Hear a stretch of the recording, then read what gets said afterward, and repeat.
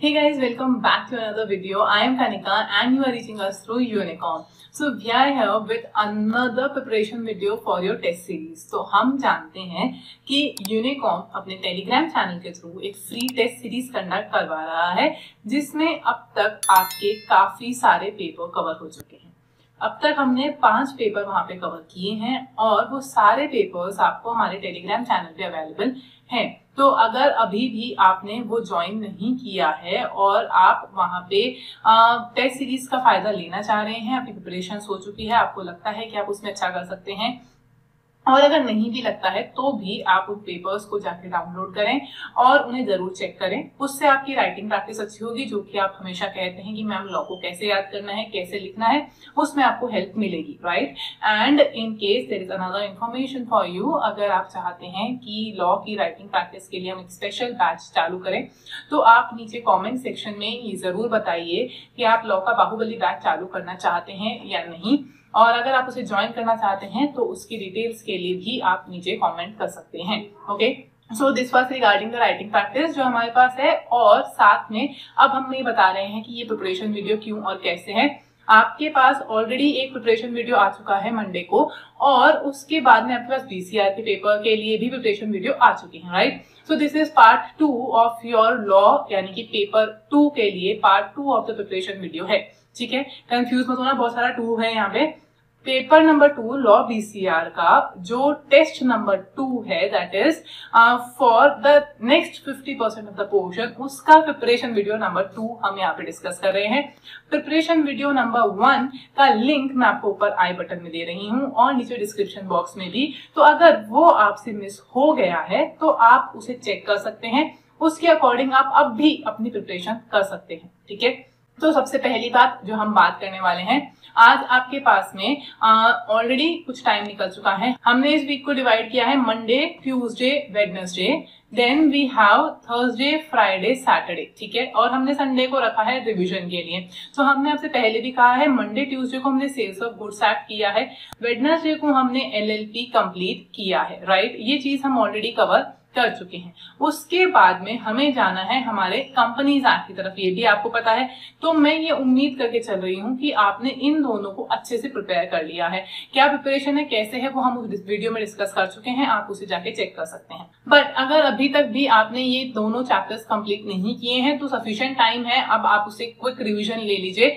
आपके पास में अभी थर्सडे और फ्राइडे का टाइम है तो पहले हम इस टाइम को हमारा कंपनीज़ एक्ट को सॉल्व करने के लिए लेने वाले हैं, ठीक है? अब कंपनीज़ एक्ट का क्या वेटेज है, किस तरह से क्वेश्चन आते हैं, ये भी हमने पिछले वीडियो में देखा है बट स्टिल हम एक बात और इसको देख लेते हैं। कंपनीज़ एक्ट जो है, उसमें आपके पास में मल्टीपल यूनिट्स नहीं है, पर उसका वेटेज है थर्टीन मार्क्स का, यानी कि क्वाइट अ सिग्निफिकेंट वेटेज है। जैसे आपके पार्टनरशिप एक्ट में भी काफ़ी यूनिट्स है सेल्स ऑफ़ गुड्स एक्ट में भी काफ़ी यूनिट्स है, उनका वेटेज 16 मार्क्स है कंपनीज़ एक्ट का वेटेज है 13 मार्क्स का फाइन तो इसमें आपको फोकस तो बहुत अच्छे से करना है।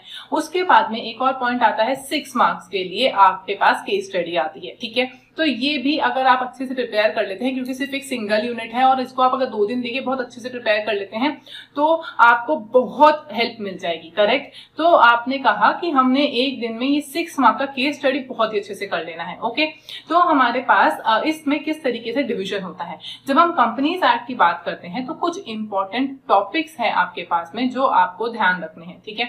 हमारे पास यूनिट केवल वन है बट इसमें बहुत सारी चीज़ें आप इंक्लूड कर सकते हैं। हैं और इसको इस तरीके से डिवाइड कर सकते हैं कि चार यूनिट्स इसमें बेसिक बन जाती है। जैसे, एक पार्ट होता है इसका डेफिनेशन का, अगर हम और प्रिंट को लेते हुए चले तो जनरली इसका यूनिट वन बनना चाहिए करेक्ट फिर सेकेंड पार्ट आता है इसमें किस तरीके से रजिस्ट्रेशन होता है तो आपके पास इसका एक पोर्शन होना चाहिए। थर्ड पार्ट में आपके पास एक अलग से ही कंसेप्ट होता है इंडोर मैनेजमेंट का। साथ में होता है यहाँ पे अल्ट्रा वायरस एक्ट ठीक है? तो ये आपका अल्ट्रा वायरस कौन से एक्ट होते हैं, उनके बारे में डिटेल होता है। फोर्थ पॉइंट जो आपका अच्छा सा पॉइंट यहाँ पे बनता है, वो है आपका कॉर्पोरेट वेल थियरी ठीक है? तो ये आपके पास में चार मेजर डिस्टिंक्शन हैं, उसके अंदर मेजर आपकी डिवीज़न आप कर सकते हो और इस तरीके से आप उन यूनिट्स को डिवाइड कर सकते हो। पर इसमें जब हम बात करते हैं कि सिक्स मार्क का केस स्टडी कैसे बनता है सिक्स मार्क का केस स्टडी अभी तक जो देखा गया है, वो आपका इन दोनों पोर्शन में से देखा गया है। रियली इंपॉर्टेंट इजी सिंपल सा सोबर सा क्वेश्चन आता है, यहाँ से आप निकाल सकते हैं या फिर आप डेफिनेशन पोर्शन में से, यानी कि इस पोर्शन में से भी निकाल सकते हैं, जो कि बनता था आपके ओपीसी के ऊपर। फाइन बट कुछ रीसेंट अमेंडमेंट्स के कारण इस क्वेश्चन को थोड़ा सा सिग्निफिकेंट से ऐसा कम हो गया है। बट क्योंकि ये आपका एक इंपॉर्टेंट टॉपिक है और इसमें अमेंडमेंट आए हैं तो बहुत ज़्यादा चांसेस बनते हैं कि ये आपको पेपर में दिखाई दे। या तो आपको डेफिनेशन पोर्शन में दिखाई देगा, या फिर आप चाहें तो केस स्टडी पोर्शन में भी दिखाई दे सकता है। बिकॉज़ इसमें चेंजेस आए हैं और साथ साथ में एक और आपका इंपॉर्टेंट प्रोविज़न है जिसमें चेंज आया है, जो कि है स्मॉल कंपनी की डेफिनेशन ठीक है? तो ये कुछ ऐसी डेफिनेशन हैं जहाँ पे अमेंडमेंट्स आए हैं जिसमें चेंजेस आपको ध्यान में रखने हैं राइट तो इसीलिए ये ऑटोमेटिकली इंपॉर्टेंट हो जाते हैं, भले ही वो case study point of view से हो या फिर वो डिस्क्रिप्टिव क्वेश्चन के पॉइंट ऑफ़ व्यू से हो ओके तो इन दोनों को तो हमें किसी भी हालत में नहीं छोड़ना है। OPC is a really a big question आपको यहाँ पे सिक्स टू सेवन मार्क्स के क्वेश्चन में ये क्वेश्चन देखने को मिलता है। फाइन कंपनीज़ एक्ट में से सेवन मार्क का क्वेश्चन नहीं आता है। इसमें से एक बड़ा क्वेश्चन आपका सिक्स मार्क का क्वेश्चन रहेगा, जो कि केस स्टडी के बेसिस पे आएगा। और बाकी का जो सेवन मार्क्स इसका अलोकेशन रहेगा, वो आप छोटे छोटे क्वेश्चन में डिवाइड करते हो, क्योंकि सेवन मार्क का सिर्फ़ एक ही क्वेश्चन आता है क्वेश्चन नंबर टू और उसमें आपको कंपनीज़ एक्ट कभी नहीं पूछा गया है। तो इसमें छोटे छोटे क्वेश्चन है, जैसे कि आपका फोर मार्क का एक क्वेश्चन हो सकता है थ्री मार्क का एक क्वेश्चन हो सकता है राइट तो इस तरीके से आपके पास ये क्वेश्चन डिज़ाइन होते हैं। तो फोर थ्री सिक्स जनरली आपका यही एक तरीका होता है, जिसमें आपको कंपनीज़ एक्ट देखने को मिल रहा है। अदरवाइज़ वो हो सकता है कि थोड़ा सा मार्क्स ऊपर नीचे करके six plus three plus three या ऐसा कुछ सिचुएशन दे फाइन तो ये जो फोर मार्क का क्वेश्चन है, ये आपका जनरली डेफिनेशन पोर्शन में से निकलता है, जैसे कि ओपीसी है स्मॉल कंपनी है डोमेंट कंपनी है, इस तरह से ओके उसके अलावा आपके पास जो रजिस्ट्रेशन वाली फॉर्मेलिटीज हैं, उनमें से एक छोटा क्वेश्चन बन सकता है। कभी सारे स्टेप्स एक साथ नहीं पूछे गए हैं। तो आप इस बात पे ज़्यादा कंफ्यूज ना हो कि मैम बहुत सारे स्टेप्स हैं, या हमें याद नहीं हो रहा है, या मैम हमें सीक्वेंस याद नहीं रह रहा है। अगर सीक्वेंस याद नहीं भी रह रहा है तो भी इट्स फाइन कोई दिक्कत की बात नहीं है। स्टेप्स और फॉर्म्स ये आप ज़रूर याद कर लें कि किस तरीके से आपको एक कंपनी को इनकॉपरेट करना होता है। फाइन देन बात करते हैं इंडोर मैनेजमेंट और कॉर्पोरेट वेल ये दोनों किसी भी कंडीशन में नहीं छोड़ने हैं। इसमें आपको इनके सेक्शन नंबर याद करने हैं कंपलसरी हैं। सेकेंड इसके सारे एग्जाम्पल्स पढ़ने हैं कंपलसरी हैं। प्लस केस लॉ के नाम आपको याद होने चाहिए। केस लॉ के सारे नाम ए टू जेड आपको इनके नाम याद होने चाहिए। इंडोर मैनेजमेंट में आपके पास में तीन एक्सेप्शन है तो इसके टोटल चार केस लॉ है टर्क एंड रूल को मिला के, तीन एक्सेप्शन को मिला के। अल्ट्रा वायरस में भी आपके पास में दो केस लॉ है कॉपोरेट वेल में आपके पास में पाँच केस लॉ है, यानी कम से कम ये आठ से नौ केस लॉ, यानी कि आपको कम से कम दस केस लॉ पूरी कंपनीज़ एक्ट में से याद होना कंपलसरी है। फाइन केस लॉ वहाँ पे ज़रूर पूछा जाएगा आपका। फिक्स है, इसमें से क्वेश्चन आने वाला है।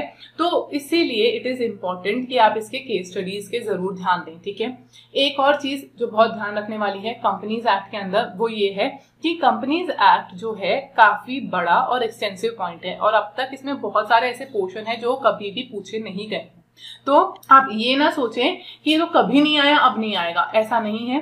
हाँ क्वेश्चन रिपीट होते हैं बट जो कभी नहीं आया, उसके आने के चांसेस और इंक्रीज हो जाते हैं राइट तो आप आईसीआई पे ऐसे भरोसा ना करें और इस पे ज़रूर ध्यान दें कि आप किस तरीके से पढ़ रहे हैं। फाइन तो आपको छोड़ के कुछ नहीं जाना है बट ये जो पॉइंट्स हैं, इनको बहुत अच्छे से प्रिपेयर करना है, क्योंकि ये रिपीटेडली देखे गए हैं, बहुत बार देखे गए हैं। और रिसेंटली कुछ अटेम्प्ट में से पिछले तीन से चार अटेम्प्ट में से ओपीसी का क्वेश्चन डेफिनेशन या फिर केस स्टडी के रूप में हर बार आ रहा है। उसके साथ में indoor management is really important इसमें भी से भी छोटा सा फोर मार्क का छोटा सा थ्री मार्क का क्वेश्चन बन जाता है और उसमें से भी आपका केस स्टडी बन सकता है। फाइन क्लियर है?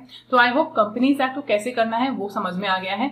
कहाँ से करना है? एज यूजल जो हम हमेशा बताते हैं, वो ही चीज़ आपकी यहाँ पे फिर से एप्लीकेबल होगी। जब हम कंपनीज़ एक्ट की बात कर रहे हैं कंपनीज़ एक्ट आपको करना है मॉड्यूल में से मॉड्यूल के साथ में आप लेंगे कुछ क्वेश्चन आपके RTP MTP plus question paper जिसमें आपके सजेस्टेड आंसर्स भी होंगे राइट तो ये चीज़ें आपको देखनी है, इसको आपको कवर करना है और मॉड्यूल के बैक क्वेश्चंस को लाइटली ना लें।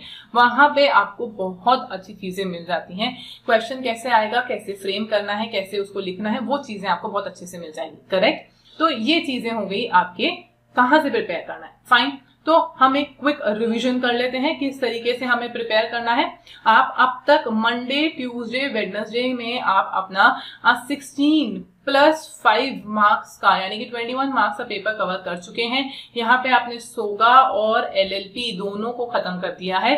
अब आपके पास में आता है थर्सडे फ्राइडे जिसमें आप अपना कंपनीज़ एक्ट का थर्टीन मार्क्स कवर करने वाले हैं। क्लियर है? उसके बाद में आपके पास बसता है सैटरडे और संडे सो इन केस आपने अब तक इसको कवर नहीं किया है सोगा एलएलपी को तो वो आप सैटरडे को कर लीजिए. और अगर आपने इसको कवर कर लिया है तो एक्स्ट्रा क्वेश्चंस और आपके जो डाउट्स हैं, उनको आप यहाँ पे सैटरडे संडे को कंप्लीट करके मंडे के लिए रेडी रहिए. फाइन उसके साथ साथ में कंपनीज़ एक्ट के जो भी आपके लिंक्स हैं, वो मैं आपको नीचे डिस्क्रिप्शन बॉक्स में प्रोवाइड करवाऊँगी, जिसमें आपका टॉपिक वाइज एक बात का ध्यान रखिएगा।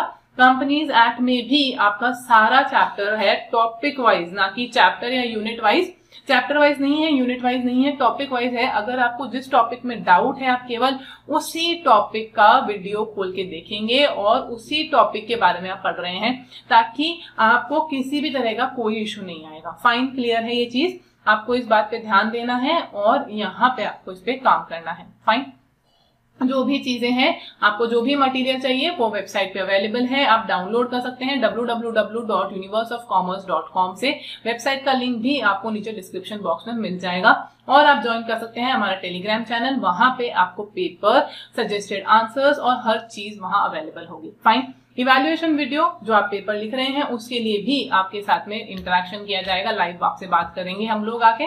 तो आपके कोई भी डाउट्स हैं, कोई भी क्वेरीज हैं, आप नीचे कमेंट सेक्शन में ज़रूर बताएँ। और साथ साथ में आपके पास में अगर किसी भी तरह का इश्यू क्रिएट हो रहा है, आपको राइटिंग कैसा, आप इम्प्रूवमेंट हुआ है, नहीं हुआ है, पिछले पेपर से आपको कुछ हेल्प मिली है, और आप आने वाले पेपर्स में क्या एक्सपेक्ट कर रहे हैं, अपने आप से वो भी आप नीचे हमारे साथ शेयर कर सकते हैं, ताकि हमें पता चले कि क्या वाकई में ये पेपर्स आपको हेल्प कर रहे हैं या नहीं ओके एंड एज यूजल आपके पास में एक एफर्मेटिव मैसेज होना चाहिए कि हम इस बार क्लियर करने वाले हैं, है ना? करेक्ट तो हम इन सब चीज़ों को ध्यान रखेंगे। आप companies act sales of goods act और एलएलपी एक्ट अगर इस वीक में कंप्लीट करके पेपर दे रहे हैं, आपका कोर्स कंप्लीट हो जाएगा राइट फिर उसके बाद नेक्स्ट वीक में हमें पूरा कोर्स एक साथ में रिवाइज करना है for the third paper okay I am making it clear again आपका 50 percent of the portion contract act वाला पोर्शन कवर हो चुका है कॉन्ट्रैक्ट और पार्टनरशिप का टेस्ट वन में। नेक्स्ट फिफ्टी परसेंट पोर्शन हम इस बार टेस्ट ले रहे हैं और एक और हंड्रेड परसेंट पोर्शन का टेस्ट होगा जो हमारा नेक्स्ट राउंड में कंप्लीट होगा। फाइन क्लियर फॉर ऑल तो ये हमारा पूरा शेड्यूल है, इस तरीके से आपको काम करना है। एंड आई होप कि आप बहुत अच्छे से प्रिपेयर करें। All the best for your test and all the best for your exams and preparation I will see you again in the next evaluation video till then keep preparing. And stay healthy be happy. Bye bye